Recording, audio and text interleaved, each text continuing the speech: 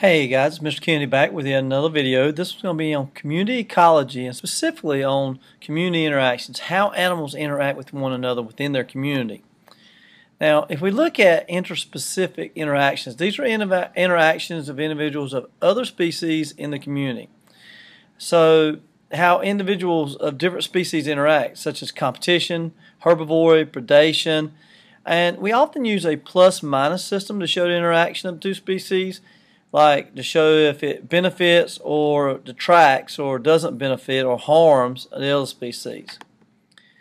Now, the first community interaction I want to talk about is competition. There is interspecific competition, which is actually a negative on both individuals.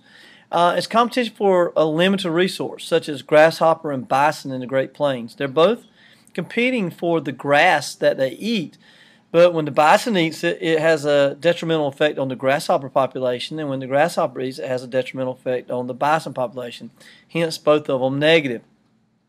Now, there is what we call the competitive exclusion theory, uh, which, if you have two species that are eating or or competing for the same resource, eventually one will outcompete the other, and that will lead to the elimination of the one that is not as good at competing.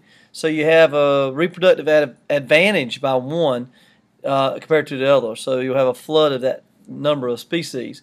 Now, two things I want to mention out here. Ecological niche or niche is a species um, use of biotic and abiotic resources. A niche is basically um, what the organism does or where um, its job in the population. Like, for example, a bee's niche would be to pollinate flowers.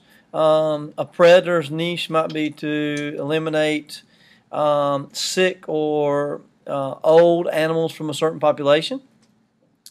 Next thing I want to make attention to is resource partitioning.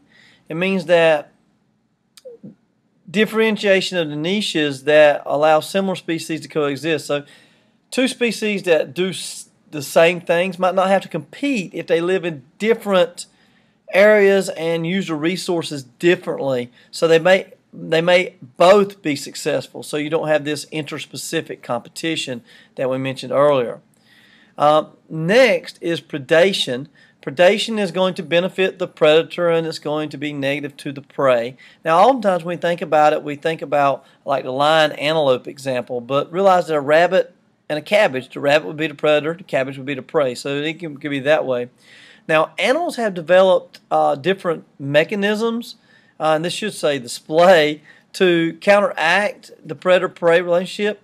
One is called cryptic coloration, in which is camouflage. Animals can hide so they avoid being eaten. Eaten. Now, realize some predators use this as well. Um, aposematic coloration, which is warring colors. Realize it doesn't do you any good to get eaten, and then the organism realizes you're you're poisonous. So having bright colors, well, warning colors would be one way to have a defense mechanism.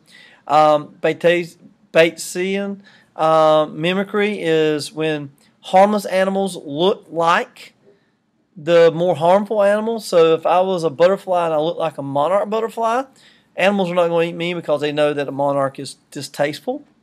Um, Mullerian mimicry is when two or more uh, animals that are both harmful, uh, unpalatable, both have the same coloration. By having similar looks, then they increase the number of, of prey that they that look like them, so they increase the likelihood that they're not going to be eaten because predators have probably come in contact with them. Now realize some predators actually use this mimicry as well. Um, example would be like in the alligator snapping turtle.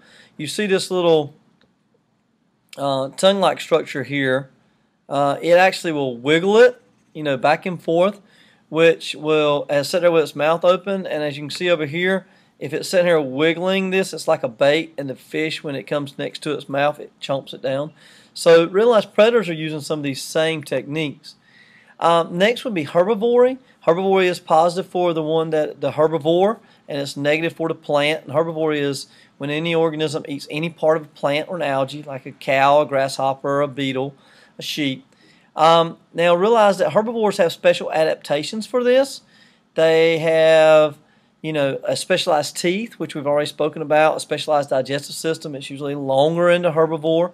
Um, they may eat only a particular part of the plant, and they may even have receptors on their feet, if they're like the beetles or grasshoppers, that recognize toxic and non-toxic plants so that they don't eat the toxic plants. Okay, the next one is symbiosis, and this is when two or more species are living together and they can have different effects, such as in parasitism, one organism benefits and the other is harmed. The one that's benefiting is the parasite, and the host is the one that's being harmed. There's two types of parasites. There's endoparasites and ectoparasites. Endoparasites are like tapeworm. They're inside your body, feeding on you. Ectoparasites are like on the outside. Now, this is a tobacco cornworm that has parasitic wasp laying its, laying its eggs on it. This is an endoparasite because the worms actually bore into the the um, the cornworm, uh, tobacco hornworm, and eat it from the inside out, and eventually kill the the uh, hornworm whenever they explode out. The next one is mutualism. Mutualism is where both organisms benefit, uh, such as the sea anemone and the clownfish here. You know, the clownfish gets protection, the sea anemone uh, gets food because things chase the clownfish back to the sea anemone. Uh, there's actually two types of mutualism. There's obligate mutualism, which it has to be there in order for the organism to survive, such as termites have microbes in their gut that allow them to break down um, wood. If they didn't have these microbes, they would die. So that's obligate mutualism. And then there's a facultative mutualism, like um, there's a certain plant and an ant, uh, the Acacia and the plant and the ant. They actually live independently of one another, but when they live together, uh, they survive much better. That's a facultative. They actually promote uh, survival. Um, the next one is commensalism, and usually think of this as hitchhiker species, like birds on the top on the backs of certain types of animals.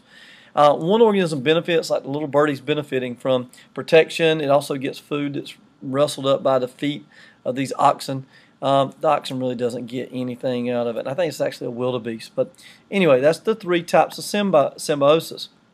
The last one is uh, facilitation. Facilitation can be either benefit both species or benefit one and not harm the other. And usually think of this in plant ecology. And the species have a positive effect on the survival of another species, even though they don't live in close direct contact. So it's not really like a symbiosis. Um, facilitation would be like a plant that uh, keeps salt from building up in a marsh that will allow another plant to be able to survive in the marsh. So, you know, even though they don't live in direct contact with each other, that then they help each other. All right, I hope this helps you a little bit, and I will talk to you soon.